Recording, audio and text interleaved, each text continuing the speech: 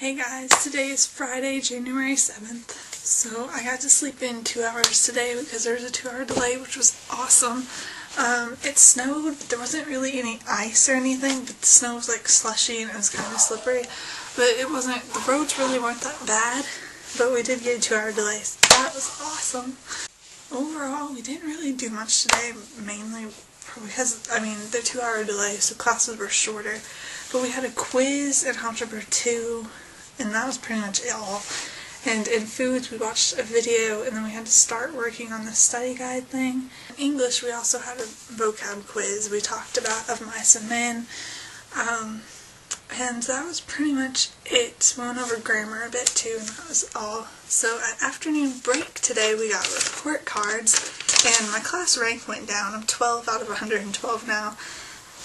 My cumulative GPA is 3.76 and the quarter GPA was 3.585. But, um, yeah, I don't know if you can see this, but here's the class.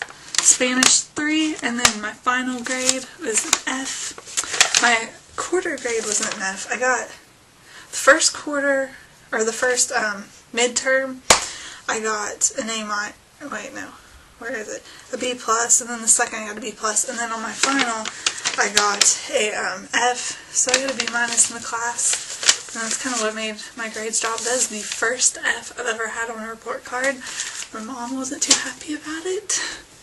But I'm so glad Spanish is over with now and I never have to take it again. I say that and then I'll probably end up having to take it again. Oh yeah, I didn't miss mention AP Biology. We had a sub today and we just watched a video and worked on study guides. We didn't really do anything in there. So apparently um, the director for Breaking Dawn was said in an interview where the split is going to be in Breaking Dawn, so I thought that was pretty cool. Apparently he said the birth and everything is going to be in part one, but part, is going to be split like right when Bella gets turned is the way I understood it from the interview.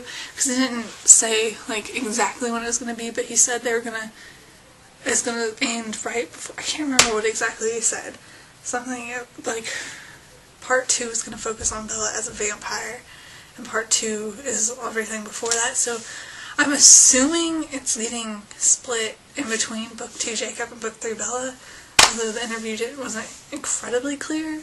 So I've mentioned on here multiple times, I think the Five Awesome Girls, which is the collab channel, and I know I've mentioned it over on the Seven Awesome Nerds, because that channel is like, was inspired by the Five Awesome Girls, but they did something in their videos where they said why that day was awesome every day, and now that they've ended, um, Kayley had a video on her personal channel about people keeping um, why today is awesome journals, like writing down every day why the day is awesome. So I thought I was going to do the, that in these videos, um, I did not think of anything beforehand. Um, I'm going to say that today was awesome because we had a two hour delay and I got to sleep in. And I think that's it. So I will see you guys on Monday. Bye.